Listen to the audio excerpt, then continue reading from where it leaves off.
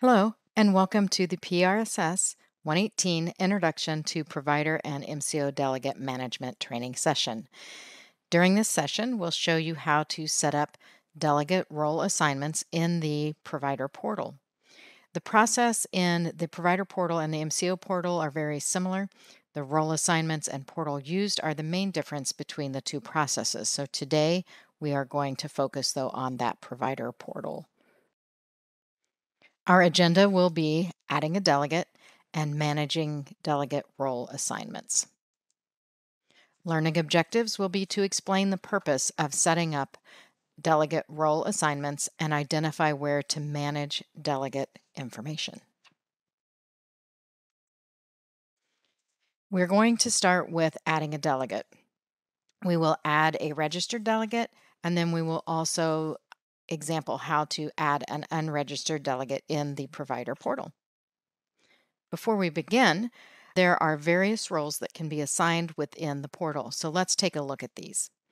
If you are the provider, you have a few options depending on the level of control you want over your information and tasks performed on your behalf. If you are an individual provider, you can directly assign and manage delegates to perform tasks such as submitting claims on your behalf. If you don't want to manage those delegates yourself, you can assign a delegate administrator to manage them for you. This administrator can also perform tasks that the delegates do. If you are an individual provider within a group of providers and you don't want to perform the administrative work yourself or assign and manage delegates, you have the option to assign an authorized administrator who will maintain all your provider account information and tasks. During enrollment, this provider type has the choice to opt out of portal access and rely solely on that administrator for all updates and processing of tasks. Existing individual within a group providers will automatically be registered to access the portal even if they decide to fully leverage that administrator for such tasks. Keep these roles in mind because the authorized administrator and delegates who work on behalf of more than one provider will see something slightly different when they log into the portal. Let's take a look at how to manage delegates in the portal. But before we get started with that, we will take a look at what you will see whenever you log into MES. So you're always going to start at the secure MES login page. We don't demo this today because the training environment is not connected to MES, but I want to make sure that you will notice here that whenever you start in the live environment, when you go live, you're going to have a username and a password. So you will begin at this MES, this secure MES login page. So you're going to enter your credentials and then you're going to select sign in.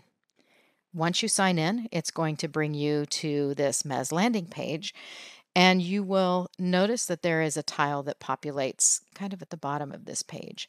So this tile will say provider management. You will see a little drop down arrow. When you select this little drop down arrow, it will then populate the PRSS portal link that you'll need to click. When you click the link, it will take you to the portal. So let's log into the training environment so you can see what this will look like. Okay, so now that we have selected our PRSS link, it brings us to our provider login page. So we will go to the top left of our login page and we're going to log in as group provider 05. I'm going to bring a let me grab my password here. So the provider that we are logging in as, so we click submit here. So you're going to notice that this provider has more than one service location. It is also an authorized administrator for an individual within a group.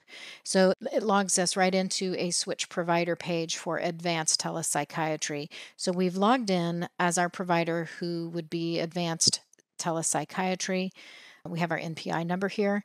It brings us right into a switch provider page because you notice that we now need to select do we want to manage the affiliations associated to our group so we again we are an authorized administrator for an affiliation in our group. So we can select yes, which would bring us that provider name, but we're going to select no because what we are here to do is go to learn how to add registered and an unregistered delegate. So we're going to go right to our maintenance tab.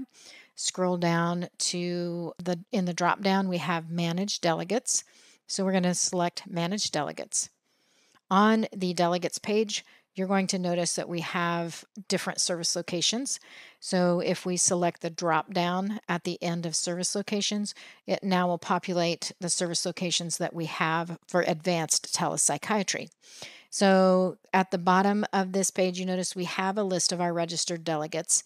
So these are the delegates that are associated with our provider. So let's go up and select a different location though, because what you're going to notice is the Follow Water location only has two delegates associated with that location.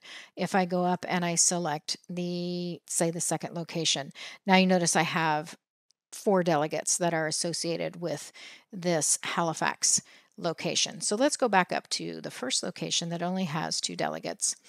On this page, we have an Add Unregistered Delegate tab and we have an Add Registered Delegate tab. So we're going to select Add Registered Delegate. That's going to bring us to the Add Registered Delegate window. All we need here is a last name. So we're going to type in Garcia. And then we need a relationship code that comes from that delegate. So we're going to ask that delegate when we choose to add them as a delegate for our provider, we're going to ask them for their relationship code. So I have a relationship code that I'm going to bring over. And we'll populate that relationship code. And when the last name and relationship code are validated by the system, and we do that when we click continue, the add registered delegate window displays with the validated delegates information. So now you notice that because Brandon is in the system, we have his first and last name. Again, we have his email and his relationship code. I want you to note this active checkbox. So the active checkbox indicates whether this delegate has the permissions to work on your behalf.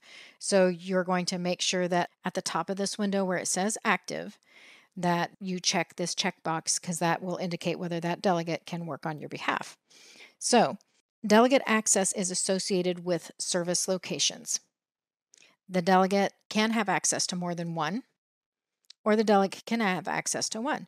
There are three options when managing delegate access. So we are going to go back over to our slides real quickly. So the provider portal delegate security access, there are three options. You can assign all service locations and security functions, set a master DA that sets that master delegate administrator for all locations with all security functions. You can also assign all service locations, but assign selected security functions. And that's going to set a delegate with the selected security functions that you select to all of your locations, all of your provider locations. The third option is to select service locations and select security functions.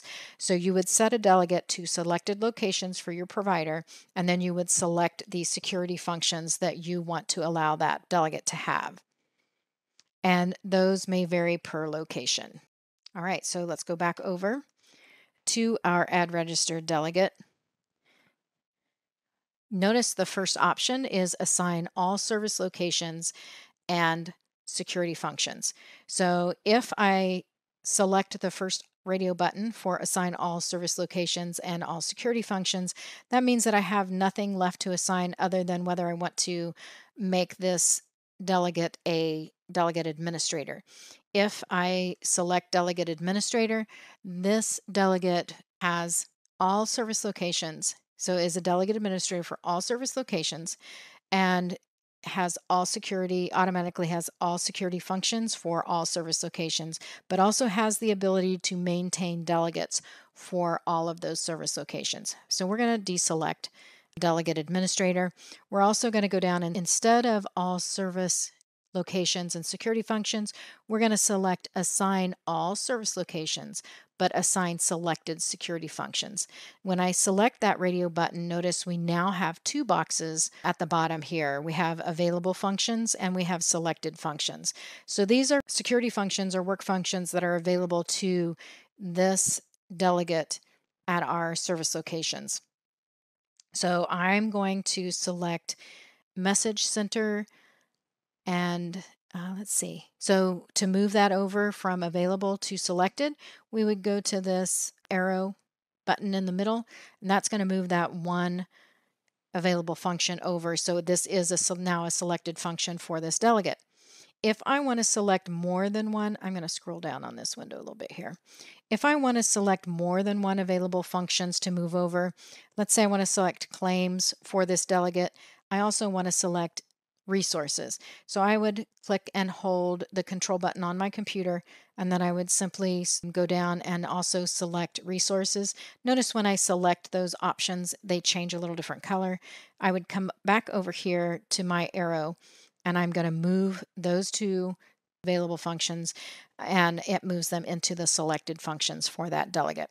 If I want to move all available functions over at one time because I want them to have everything but maybe one or two, I can use the double arrows in the middle here and that's going to move all available functions over to selected functions for that delegate.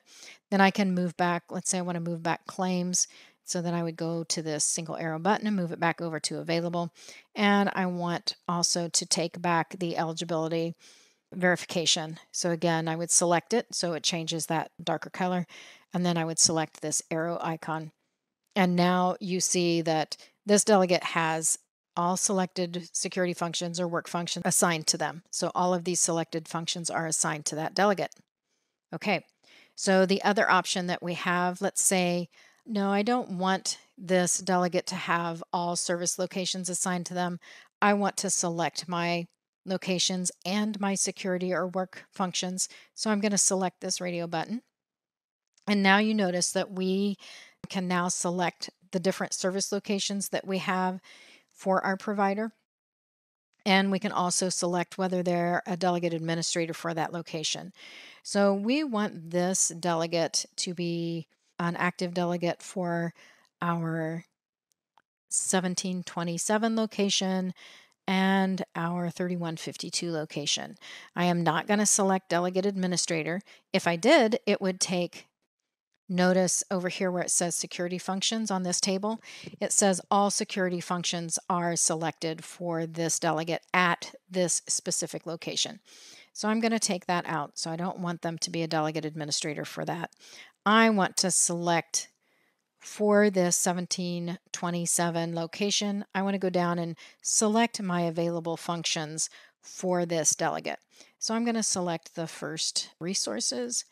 I'm going to select a couple more. So I want to hold down on my control button, select a couple of those available functions.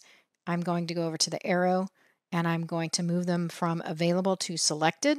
So now you notice up here for this location, the 1727 location, the security functions that are assigned to this delegate are listed in this table.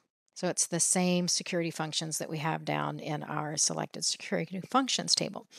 Okay, so if I go down to the 3152 location and I click on that, it's going to again turn it a darker color.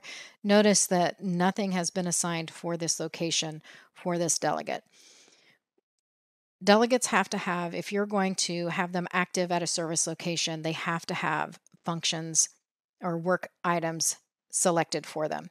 So we're just going to select resources, search members. And again, we're going to move it from available. So we highlighted that or we clicked on it, which changed it. So that was selected available function. We're going to move it over to selected function with this arrow. And notice then up here, where we have our 3152 location, that the security function assigned to this delegate is the same as what we selected down here. Okay, so we go down to the bottom of our window. We have a submit button. We want to select submit. And what that's going to do is assign those service locations, those security functions to that delegate. So up at the top of our window now, it says add registered delegate was successfully saved. So you're going to notice that pop up or that banner. Okay, so you can also add a delegate who is not currently associated with you and does not currently have an account within the system. So they don't have a relationship code. So to do that, they would be considered an unregistered delegate. So we're going to go down to this Add Unregistered Delegate button. And we select that. And we come up with an Add Unregistered Delegate window. So we are going to add a last name here. So let's see, who do we want to add? We are going to add Veronica Wang. So the last name is Wang, first name is Veronica. We have an email address.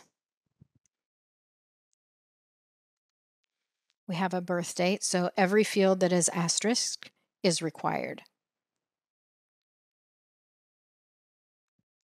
We need the last four of this unregistered delegate social security number. So we're going to say 4444.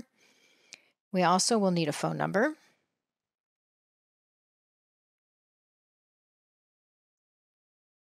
And we will select a primary language.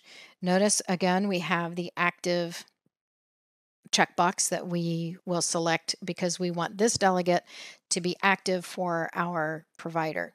Again, down at the bottom, we have the add options. So we can assign all service locations and all security functions with just the click of this radio button.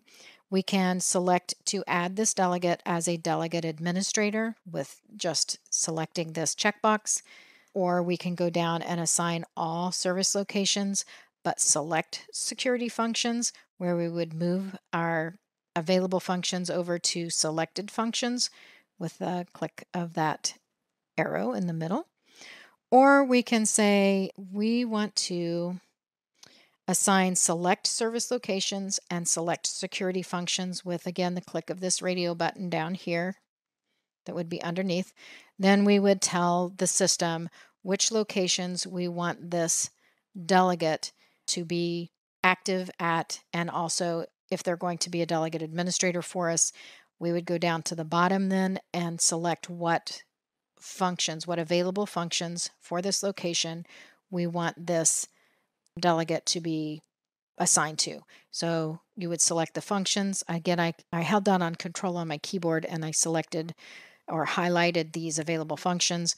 Go over here to the middle and I can select that arrow icon or button to move everything that I selected from available to selected functions for this specific delegate. And then at the bottom of this page, I just simply select Submit. At least one security function must be assigned to the service location. Yes, and I notice up here in my window, I have selected some locations that I did not assign this delegate any security functions to. So if that's my mistake and I didn't mean to select those locations, I just deselect them. Or if I just forgot to assign the security function, I would again highlight that location and then I would go down and I would select the functions for that delegate. But again, this is, remember, an unregistered delegate. So I'm going to click Submit. And this time it's going to go through because all service locations that I assigned to this delegate, I have also assigned the functions to, the security functions to. All right. So again, notice here at the top of this page that you have added unregistered delegate was successfully saved. So this is what we want to see. So with an unregistered delegate, the thing to remember is the delegate receives an email to complete portal registration. So this unregistered delegate does not have access to the account from the switch organizations until this delegate receives the email and completes the portal registration. Then the delegate will be able to access the account from switch organizations as soon as the registration is complete. So we'll move back to our slides. And now we're going to, going to discuss managing delegate role assignments. So those delegates that are already assigned for our provider, we're going to show you how to edit those or how to manage those delegates. All right, so we will switch back to our provider window. All right, so notice we have our providers down here, the bottom table where it says registered delegates. We can again select a different service location. We'll select one that has more delegates. So here we are. All right, and notice that we have our Brandon Garcia that we added as a registered delegate earlier is now populated in this window. So we have Michaela Brown, and Michaela, we have decided to give her a few more security functions. So for Michaela Brown, we're going to manage this delegate is already in our system. We would highlight her her record and then we would double click on it or just double click on it and it will bring up the assign delegate window. And again, we can go down and we can assign more service locations. We can unassign service locations. We can go down then and we can select different, we want to add to Michaela's functions or work functions, we want to add the resources. So we select resources. Again, it highlights or it turns that, that function a different color. Go up here to this button, this arrow button, and it will move over from an available function to a selected function. And then again, if we scroll back up here and we look at that location, we're going to notice that that, that resources has been added. Oh, actually, that's not the right location. So it, we're going to notice that it's going to change and add into the security functions for that location. So the location that we have, yep, have selected was one that I think I made inactive. So we're going to make that active again. And again, we have added that resources uh, security function. So we go back down, we click save, or that's not going to be changed. And then notice again at the top of our window, we're going to see assigned delegate was successfully saved. So that is how to manage your delegates that are currently in your system. We're going to go up and log out for security purposes. Anytime you walk away from your desk to do whatever, or your end of the day, you're going to want to make sure that you log out of the system. So that is all security. And we didn't do that when we were flipping back and forth, going back and forth from slides to the system because we were hopping right back in. All right, so let's move on to a few questions from this section. So, our first question is Providers, MCOs, and ASOs can give portal access to their clerical or administrative staff. Is this statement true or false?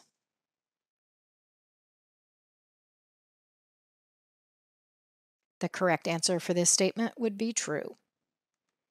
Our second question is a delegate administrator has access to all security functions, including the ability to add and maintain delegates. Keywords here would be the delegate administrator. Is that true or false? This statement would be true. Our third question when an unregistered delegate is added, the delegate has immediate access to the authorized portal functionality. Is that true or false? The correct answer to this would be false. Remember that delegate must follow instructions sent to their email to complete the registration before they have access. And our last question what information must a registered delegate supply in order to be added as a delegate to another account? And you can select all that apply here. Remember when we added a registered delegate, we selected that button, popped up that long field. So what would we need in order for the delegate to be added to another account? And the correct answer would be last name and relationship code. So in this session, we explained the purpose of setting up delegate role assignments. We identified where to manage delegate information and a training resource that would be available and helpful for this topic would be the Provider Portal User Guide. Congratulations, you have now completed Introduction to Provider and MCO Delegate Management or PRSS 118. Thank you.